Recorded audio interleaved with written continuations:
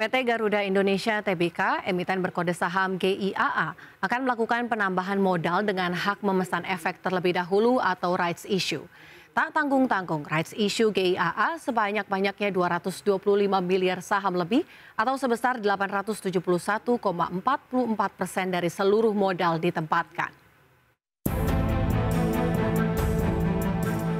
Jalan dengan rencana pemerintah untuk menggelontorkan penyertaan modal negara atau PMN sebesar 7,5 triliun rupiah, PT Garuda Indonesia Tbk atau emiten dengan kode saham GIAA akan melakukan penambahan modal dengan hak memesan efek terlebih dahulu atau right issue.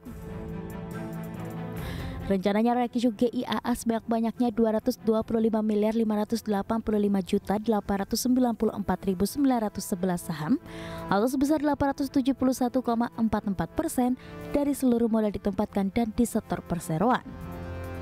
Berdasarkan keterbukaan informasi GIAA dijelaskan bahwa pemerintah akan melaksanakan HMETD milik pemerintah dan menyetorkan modal baru di perseroan sebesar 7,5 triliun rupiah. Saham baru dalam penambahan modal ini akan dikeluarkan dengan nilai nominal Rp459 per saham, sementara itu dalam hal harga perlaksanaan yang ditetapkan berada di bawah nilai nominal saham perseroan.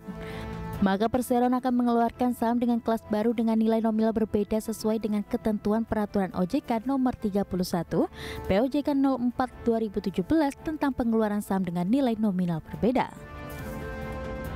Di sisi lain rencana Rakishu Garuda ini merupakan salah satu skema restrukturisasi yang telah disetujui dalam rencana perdamaian adalah dengan melakukan konversi atas utang perseroan kepada kreditur yang berhak menerima ekuitas melalui private placement atau non HMETD.